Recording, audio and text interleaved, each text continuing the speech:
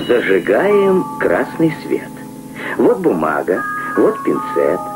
В глубине листа пустого, неуклюж, тяжеловат, смутно возникает снова старый фотоаппарат. Когда-то им была сделана вот эта фотография. Время оставило на ней свои следы, царапины, трещины. А что, если попробовать убрать их?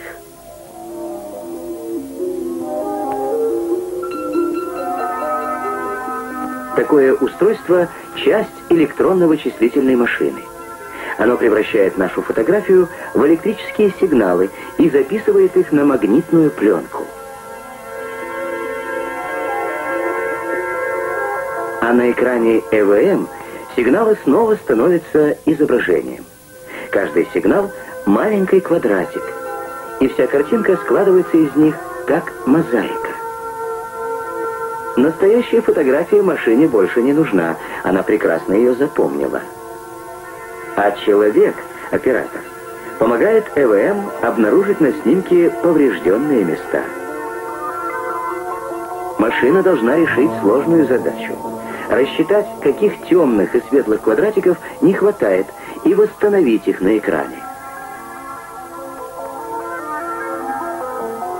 Очередная команда —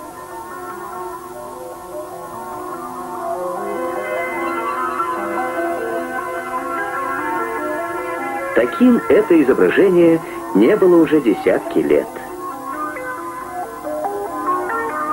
Теперь его можно перевести обратно на фотобумагу.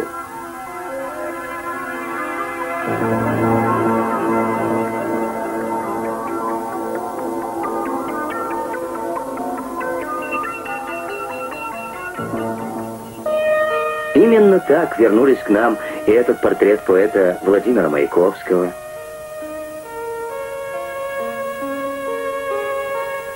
и фотография Надежды Константиновны Крупской, и неизвестный снимок полярного исследователя Отто Юрьевича Шмидта.